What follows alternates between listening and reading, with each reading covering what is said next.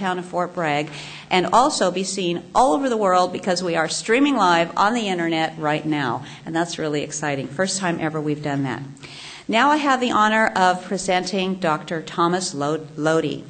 Thomas Lodi, MD, a master level psychologist, received his medical degree in 1985 from the University of Hawaii.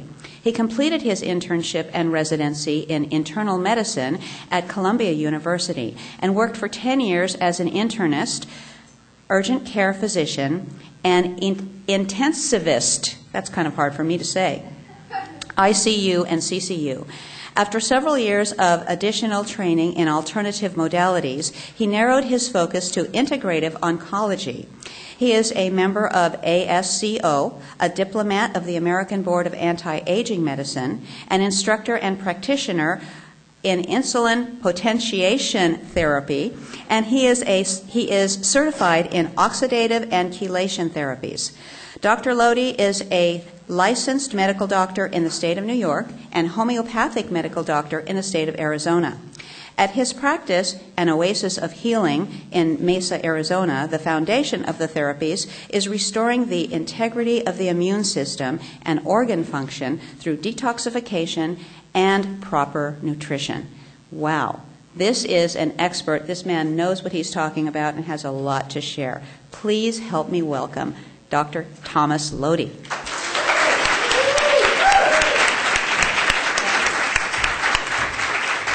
Thank you. Um, how many people were here or heard, heard the talk on Friday? Okay, about half. All right, because there was there's some there was some uh, uh, some important concepts that I'll, I'll try to review. But today I was going to talk about disease. Oh, another question: How many people either have cancer, had cancer, or know people with cancer. One out of two men will get cancer in their lifetime, and one out of 2.8 women will get cancer in their lifetime in this country and Europe, Asia. The World Health Organization recently announced, you might have recalled, um, that by 2010 the leading cause of death worldwide will be cancer. So this is the real pandemic.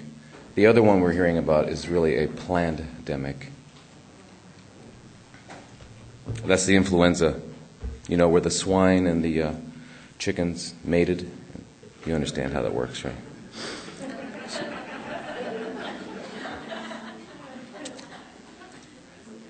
You believe that, right? Okay, so uh, I want to talk about disease. And uh, what do we have to talk about if we're going to talk about disease? First thing we need to talk about is health. What is health?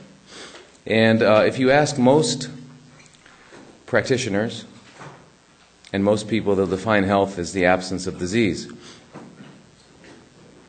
And that's like saying that light is the absence of darkness. How much darkness do you take out of a room to find the light? It's an absurd concept. Okay, so the truth is is that um, disease, uh, health is not the absence of anything; it's the presence of something, and it's the presence of the ability to regenerate, rejuvenate, and procreate. Okay, and, and to do that exuberantly. And this happens because the, the imperative of nature is to regenerate, rejuvenate, and procreate. It's, it's, a very important concept to understand. If you were to uh, slice your arm by mistake, cutting a coconut open, it would heal. That's what nature does. Nature heals and it overcomes. Water rolling down a hill, if you put a rock there, it's going to go around it. You've got to put a pretty big dam up to stop it. Okay, so nature uh, is irresistibly drawn to heal, to grow, to procreate. Okay, that's the natural state of things. Okay, what is nature? Nature is a perfect I don't know what to call it, but it's perfect. If a bear has a bowel movement, it turns out to be or, um, uh, nourishment for other organisms. There's no waste in nature. And nature can be seen as a um, having billions and billions of faces, of eyes. It's got the eyes of a butterfly and it's got the eyes of a bear, the eyes of a human. That's what nature is. And every set of eyes, every aspect of nature, must function optimally in order for this whole to be perfect. And it is perfect. And so, this optimal functioning of every aspect of nature is what we would call health. So, the optimal functioning of an organism is its health. And that's what health is. Okay. optimal functioning is allowed and is permitted through a mechanism known as instinct. Instinct is how we are plugged into the wisdom of nature. Unfortunately, humans are disallowed instinct. Our parents tell us early on that it's not acceptable to be instinctual. Don't put that in your mouth. Don't touch that. Don't. And uh, pretty soon we find ourselves um, completely cut off from nature, living in boxes and driving around in machines, living artificial lives.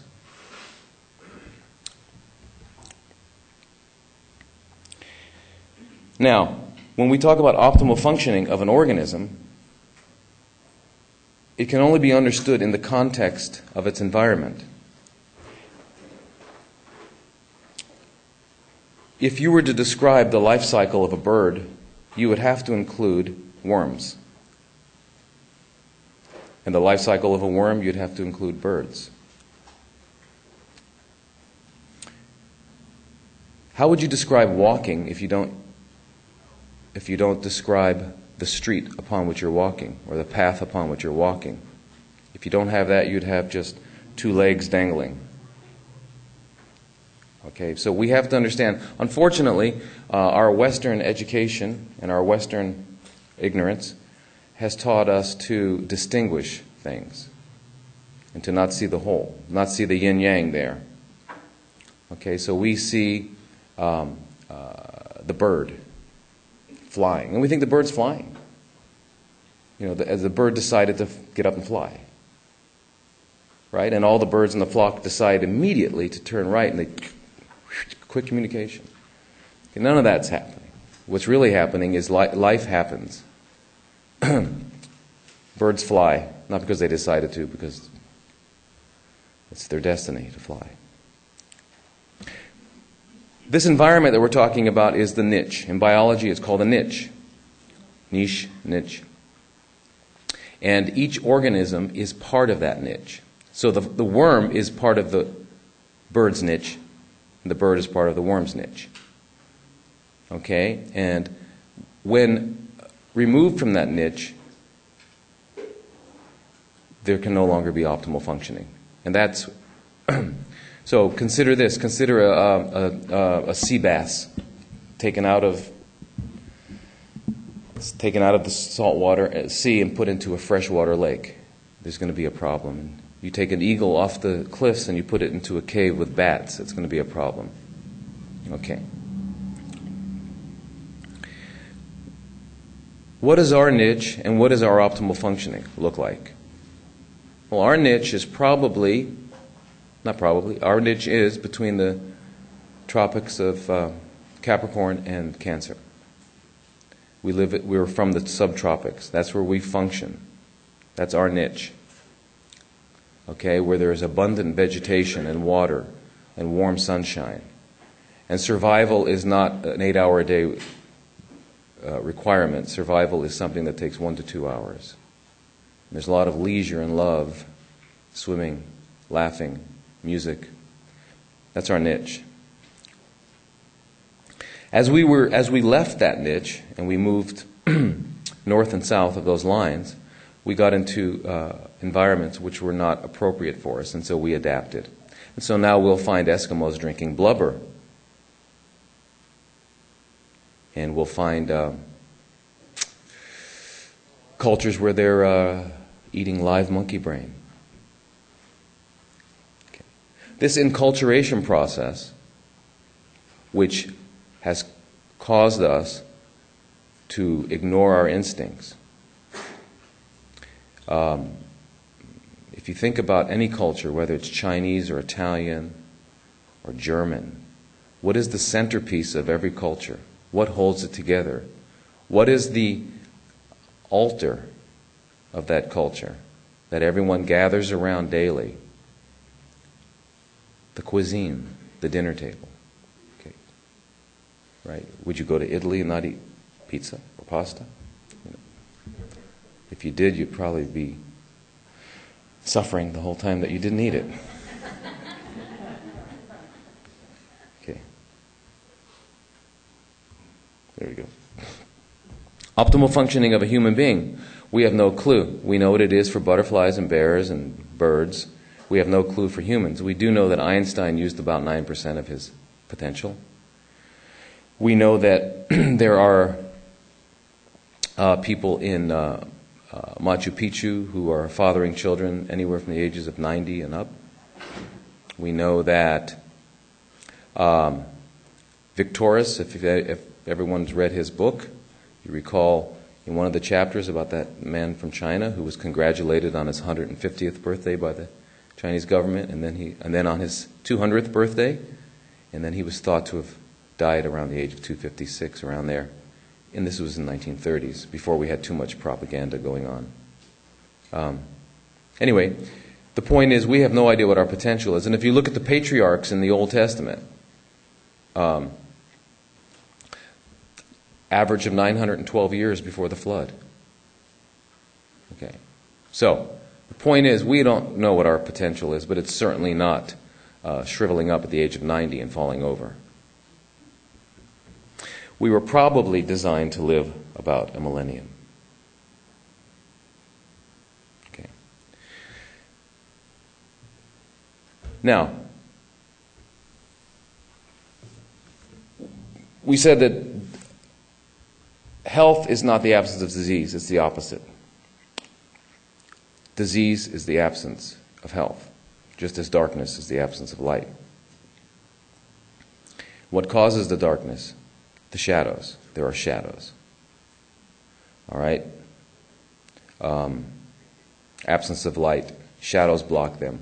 So you can have a very sunny day and the clouds are there, you start to get shadows. It gets darker and darker. Okay? So, um, these shadows are cast by obstructions. And keep in mind, it's very important, shadows are not real. Just ask Peter Pan. He had it sewn onto his foot, if you all recall. Anyway, what are these shadows when it comes to health or lack of it? These are cultural behaviors that we learn. So we learn to do certain things, and those, those become the obstructions to health and the cast shadows, which we call disease. I'm going to review disease. I'm going to right now quote uh, an MD, another MD, um, who I have a lot of respect for. In the mo- in, under most circumstances, I have um, very little respect for MDs. Not because, you know, what, all the good stuff we can say about them, but a bit because of what they do and what they don't do. Most MDs ignore the truth uh, to, the, to the detriment of their patients. And I remember taking a Hippocratic oath, and I can't. I, can't imagine not, not living up to that oath. And that, you know, first of all, do no harm. 85% of oncologists, when um, uh, surveyed anonymously, would not do their own treatments. And they bring their wives to people like me and their husbands. Okay, so we're, we're beyond negligence. We're into evil.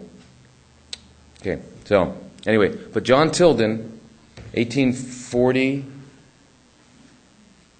in the 1840s he was born. He died in 1850s he was born and died in 1940. Okay. He wrote a book called Toxemia Explained. Everyone should read it if you haven't. Incredible book. Um, but, here a quote by him There is no hope that medical science will ever be a science, for the whole structure is built around the idea that there is an object, disease, that can be cured when the right drug, remedy, cure is found. And I'd like to read you part of his preface, and it's very important, so please listen. Part of his preface to the book Toxemia Explained. From time immemorial, man has looked for a savior. And when not looking for a savior, he is looking for a cure. He believes in paternalism.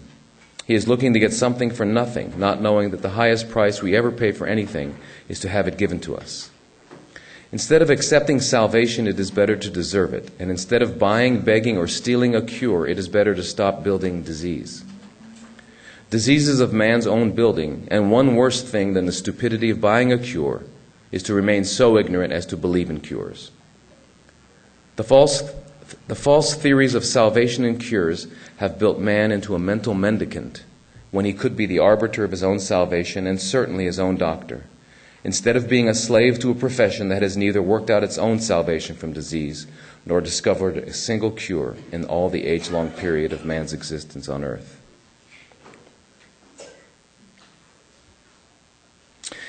So, what now we're going to get into some of the details of what disease is. As our body metabolizes, metaboli- metabolization is metabolism means uh, it's, it's, it's made of two parts anabolic, anabolism, and catabolism. So building up and tearing down. Okay, and that's the ebb and the flow. If you look out the ocean there, it ebbs and flows, and all life is ebbing and flowing.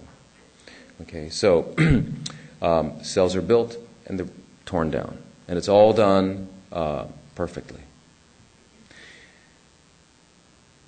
The parts that are torn down and recycled, which are called meta- uh, can be called metabolic wastes.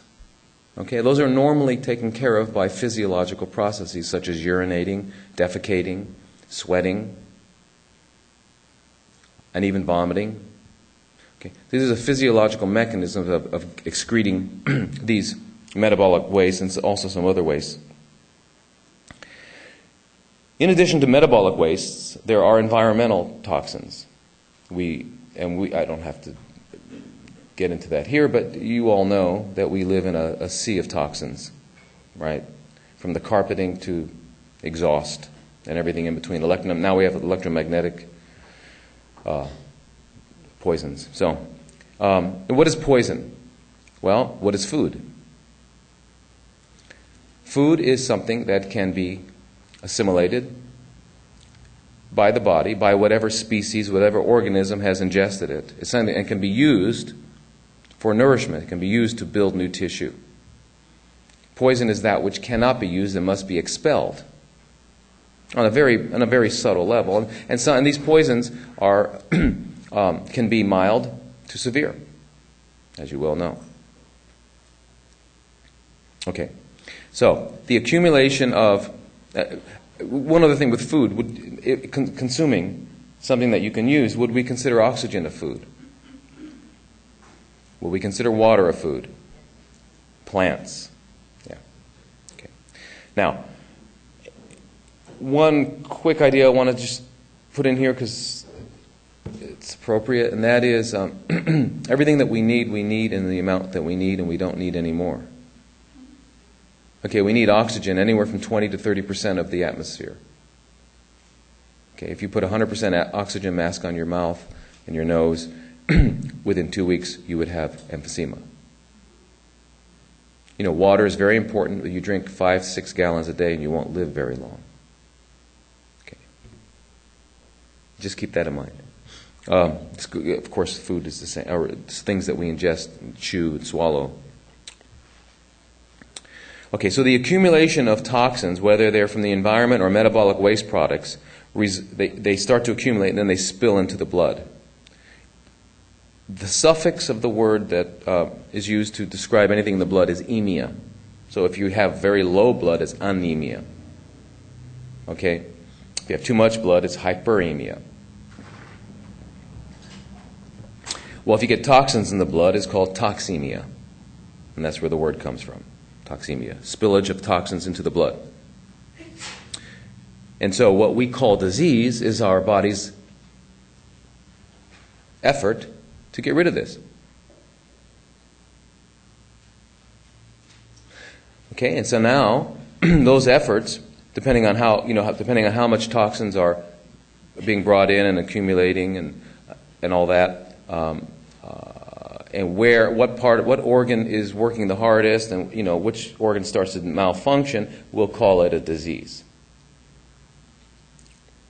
It's as if um, um, if, you look at it as a trunk, the trunk of a tree is the toxemia, and all the branches are the manifestations, and that goes from headache to cancer. Okay. Now, uh, Tilden also, in his back in the the uh, early 20th century and the late 19th century, um, talked about symptoms. Symptoms are usually called diagnoses. My diagnosis is you have a headache. All right. Well, well that's not a doesn't mean anything. Let's figure out where what, what are we talking about with headache? Is it is it due to pressure? Is it due to arterial spasm, as in migraines and dilatation? You know, what's it due to? So let's say we find out we, it's due to pressure. Is pressure the disease? Well, what's causing the pressure? And if you keep going, you know, now let, us say the um, uh, eventually it hemorrhages. Is hemorrhage the disease? Well, let's say you die. Is death the disease? You understand that the more you keep trying to figure out what it is behind it, you'll get down to only one thing. It's called toxemia. As uh, John Tilden says, when the cause of the pain is found, it too will be found to be a symptom and not a disease. And this will be true to the end. Okay. All the medical literature from the Journal of the American Medical Association, the New England Journal of Medicine, the um, uh, British Journal of Medicine, the Lancet, all these prestigious journals are all talk are all based on discussing that which is a fantasy. Because there's no disease and there's no cure. Therefore, no cure. You understand that medicine is based on the fact that every disease is separate, distinct, and therefore has a separate and distinct etiology or cause. And by having a separate and distinct etiology and cause, it therefore requires a separate and distinct cure. And you got to come to me because I studied all these things and I know these things. It's all, none of it is true. Now, there's another group. I, am trying to. I want to try to give you a little little uh, tour here of some of the thinking. Uh, uh, homeopathy. There was a guy, um, one of the home- homeopaths, um, came up with the concept of homotoxicology. It's very similar, and I just want to briefly do it. So, um, again, he says diseases are caused by toxins, uh, and homotoxin. Homo means toxins produced within. Um, chemicals, microorganisms, byproducts, post traumatic cellular debris, and byproducts of uh, hidden metabolic processes. What is the organism? And this is a really good concept. What is the organism? The organism is a flowing system of energy.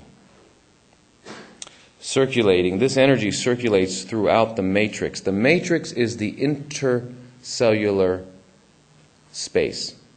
Every cell is surrounded by a space.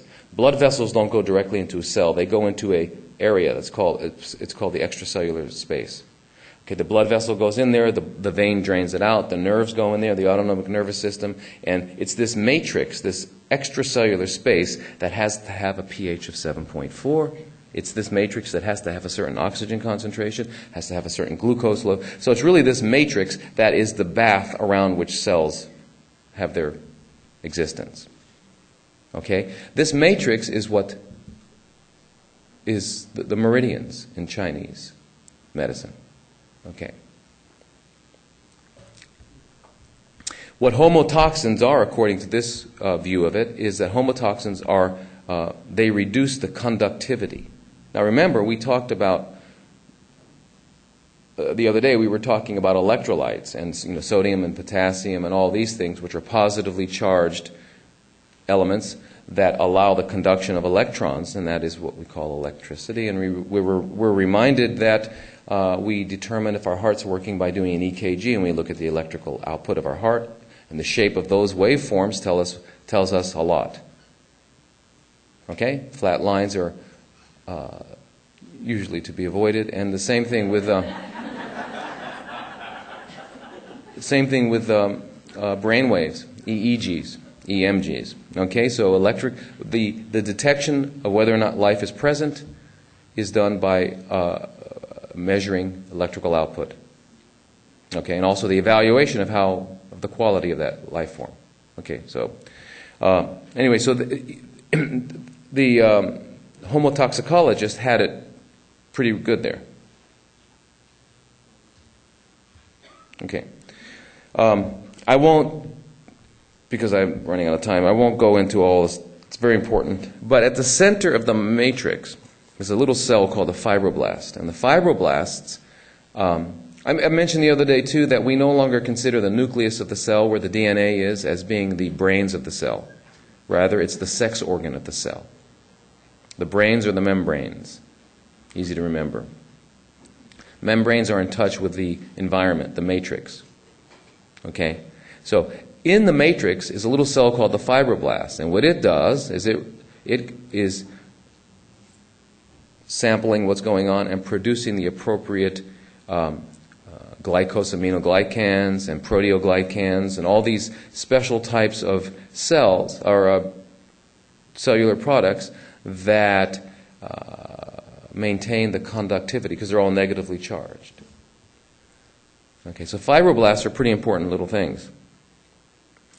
As an example of what these proteoglycans are, is like, for example, heparin. Heparin, which lines blood vessels.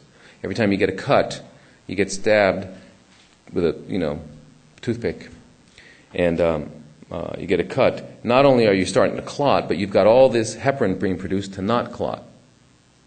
Okay, so in our body, it's, it's always working to balance. If you get too many clots, you get a stroke, you get a you know, kidney infarct.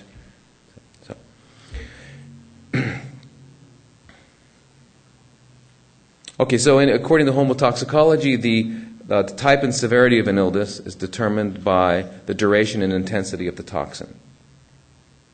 And it's the, clog, the ultimate clogging of this matrix, the, block, the blocking of this matrix, that results in cellular damage, organ damage, and disease. Okay, so I really like their view of things. And they actually have broken it down to six phases of disease the excretion phase, the inflammation phase, digestion phase, impregnation phase, degeneration phase, and the differentiation phase, the sixth phase of disease. I won't go into all of them because it would be another whole lecture, but the differentiation phase is important because this is where malignant disease arises. Malignant disease is just the end of, a, of, a, of a sequence. I can't tell you how many patients have sat in front of me and said, you know, I'm really healthy except for the cancer. and, it's true. They, they believe it, they mean it, and it's, you know, it's true. Why? Because we don't know what health is. If you want to get an idea of health, go to a nursery school. bouncing off the walls, doing somersaults, that's health. That's health. What's the difference between an old man and a young man, besides the, the shape of the body and all that? Energy. Let's look at the energy. Okay? Remember, energy. He was talking about energy in the matrix. Energy. Why do we eat? We eat to get energy. That energy comes from the sun, through the plants, to the animals. How much energy can you get from eating a corpse?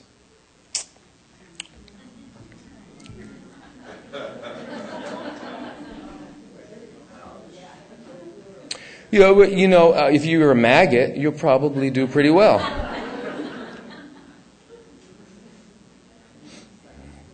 It's unbelievable. But there are still people, I'm sure, in this audience too, that dine on corpses. It's amazing. Um,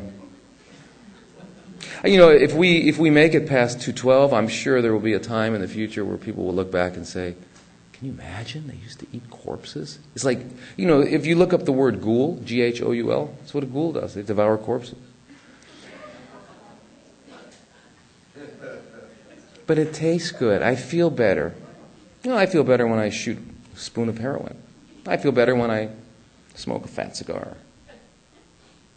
If it, feel good, if it feels good, do it, right? okay. Um,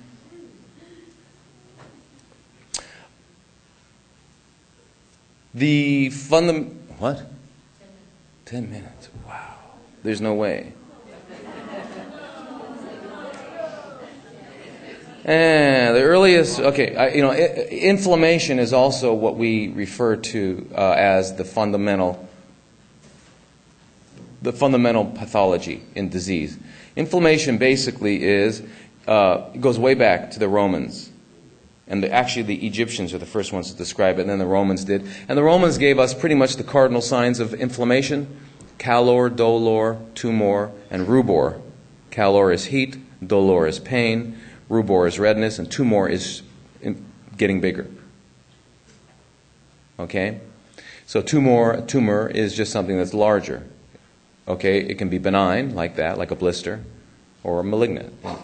Okay, so, um, but anyway, it all has to do with increasing the blood flow, making the blood vessels more permeable so that the tissues get uh, uh, bathed with um, uh, the, immu- the immune system shows up. Okay, the immune system is white blood cells, red, you know, macrophages, and a whole variety of, of cells, uh, and they start producing what are called cytokines and interleukins, uh, leukotrienes, and what these what these chemicals do is they are communicating to the rest of the body what's going on here, all that, and they do that by going into the lymph lymphatics. They send it into the blood, and then they go into the lymphatics, and they get up to a lymph node, and that's where they really, you know, do a lot of work. And um, so run when the surgeon tells you he wants to remove your lymph nodes because we found a lump in your lymph node. Okay? That lump means your lymph nodes are doing what they were designed to do. Okay? Should we do lymphatic massage on someone with breast cancer? Yeah. No, no. Make it stagnant. Don't let it move. What happens if it's stagnant? What happens if water gets stagnant? Are you going to drink out of it? No. Okay.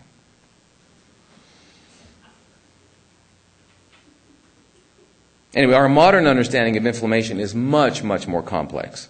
And it's, you know, uh, you got to have a, a PhD in biochemistry to understand it. So, the word we put on the, the suffix that we put on the end of words is called itis, I T I S. Bronchitis, iritis, rhinitis, dermatitis. What does it mean? It means inflammation. So, inflammation is the body's first attempt to, if you can't excrete it from your urine, if you can't defecate it, can't sweat it, your, your body will next do, do inflammation. And what they're finding out now is that inflammation, uh, which occurs and then is resolves, occurs and resolves, right? You acute inflammation, you get hit there and it goes away. Okay? Again, the ebb and flow, you know, the rhythm of nature, the rhythm of life. Okay. Um, when something happens and that inflammation becomes chronic, it's that chronic inflammation that underlies the development of pathological physiology, pathological biochemistry. Okay. Um, there's so much to talk about. You know, the, uh, when we talk about lipids, lipids are fats. Uh, our bodies produce um, arachidonic acid and eicosanoids, which are the omega three, uh, omega six, omega threes. Okay, they're both necessary. We need that little bit of arachidonic acid to do to, pr- to do the pro-inflammatory job, and we need the eicosanoids to do the anti-inflammatory job. Okay, that's the yin yang, like estrogen and progesterone, right? A lot of women are walking around with lumps in their breasts, not because of anything other than there is an out, uh, not, a, not a balance of estrogen and progesterone. Yin yang. Okay. Um, so, arachidonic acid, too much arachidonic acid gets sequestered because it is an absolute poison. It causes total body inflammation. And um, um, it's found in animals. Animals have arachidonic acid. Okay. So every time you eat a corpse, and when they die, there's a lot of inflammation going on too. Every time you eat a corpse, you're, get, you're eating a lot of arachidonic acid.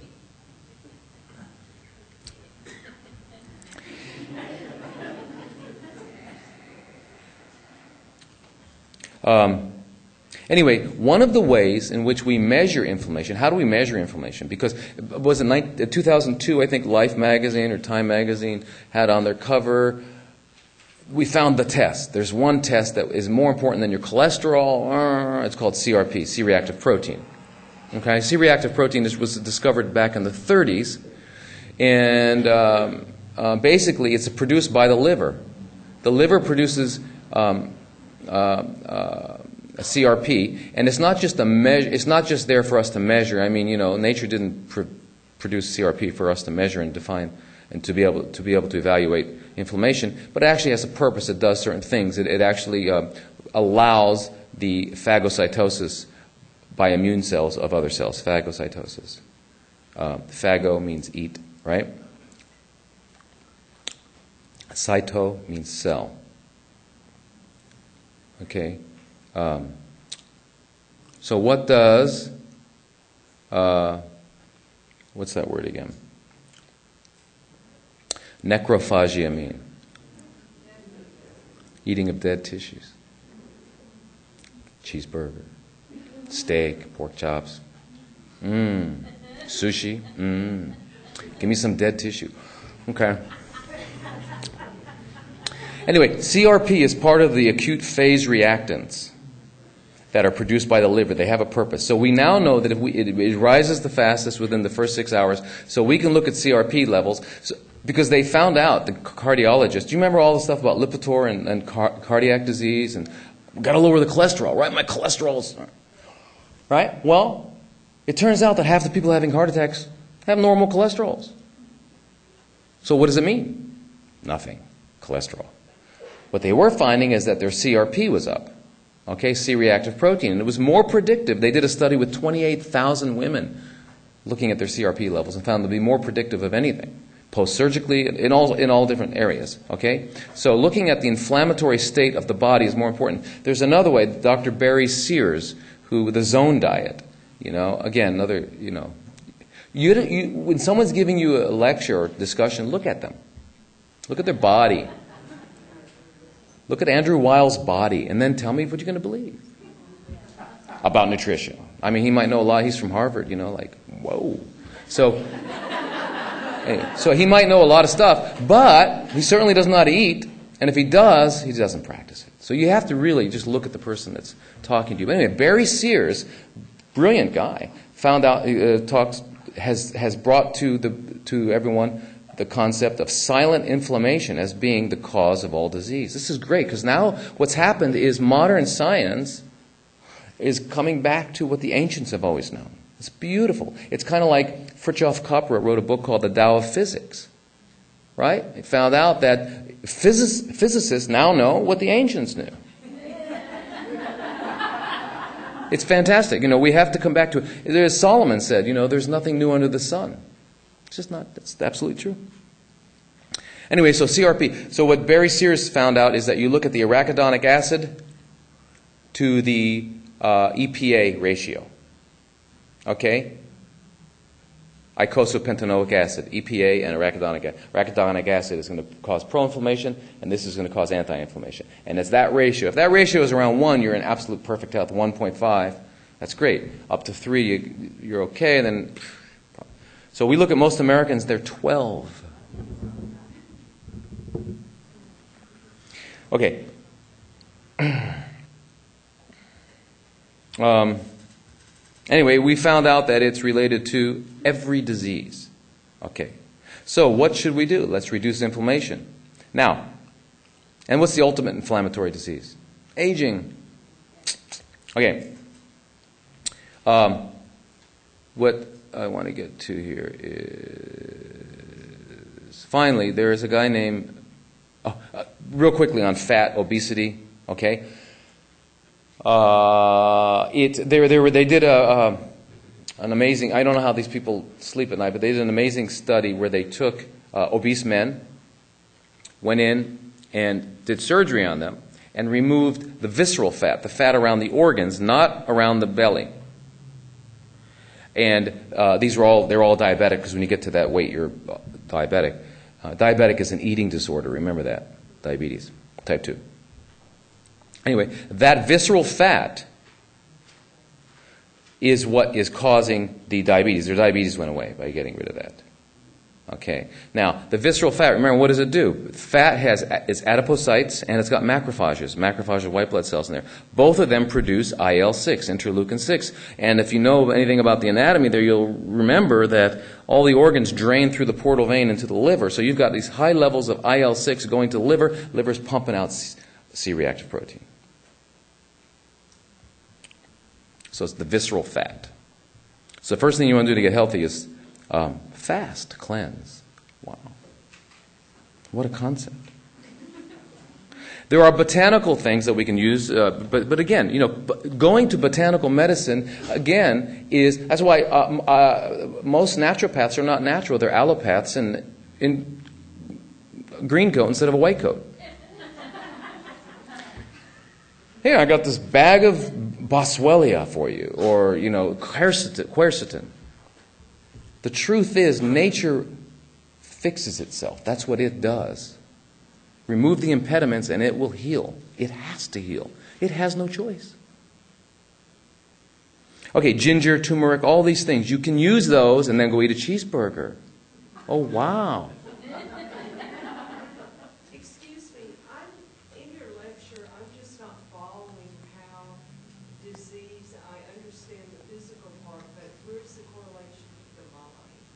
I'm coming to it now. I, I only got two minutes. Okay. What's the correlation of disease to the mind? Okay, this was way too long of a lecture. I can't do it. So what I'll do is I'll go to that. Um, basically, okay.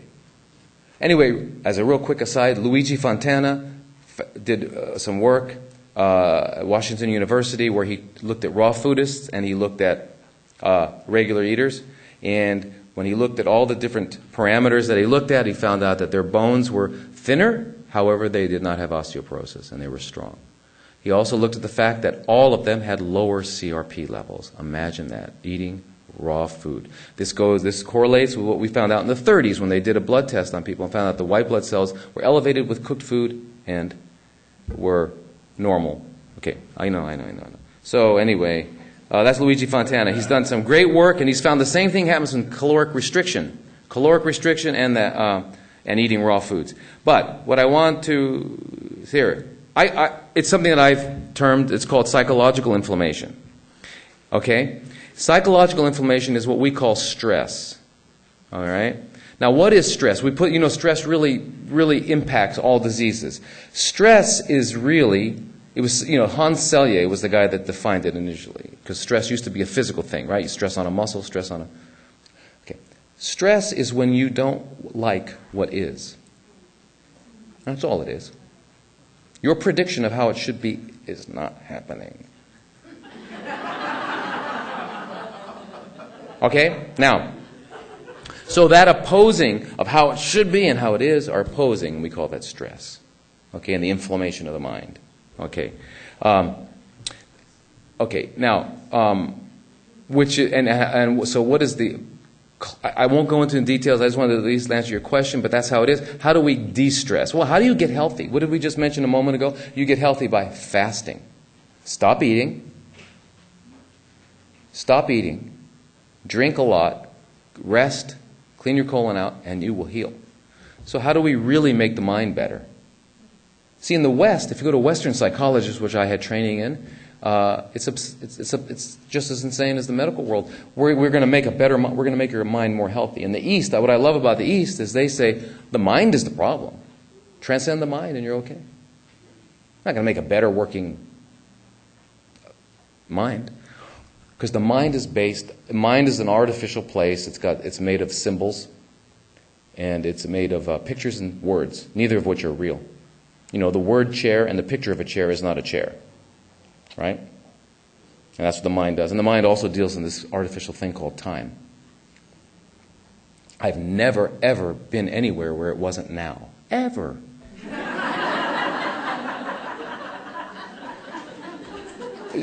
you know, so that's why I don't carry watches. They're irrelevant, they're made up. anyway, the point is the mind works in time, which isn't. And it works, and it, and it also, because we always think about what was, what could be, what should be, what might be, what could have been, what should have been, and what will be. None of it is. And what happens when we're there? We're unhappy. You're never happy when you're thinking about that stuff. When are you happy? You're happy when your mind is turned off. What are moments that allow us to turn our mind off? Orgasm comes to mind. You're not thinking at that moment. Music. Why do we love music? Music is now. Dancing, surfing. Okay. The minute we talk, the minute we think, we're disturbed. So this whole thing comes down to two fasting and meditating.